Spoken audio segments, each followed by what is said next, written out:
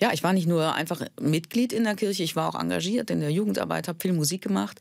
Aber die Recherchen, die ich journalistisch gemacht habe zum Thema Missbrauch, sexualisierte Gewalt, die haben mich erst zu einer inneren Distanz gebracht und dann letztlich zu dem Schritt, dass ich sage, ich will das nicht mehr unterstützen. Ich will keine Komplizin sein. Ich will nicht, dass mit meinem Geld Anwälte bezahlt werden, mit denen man gegen Betroffene vorgeht.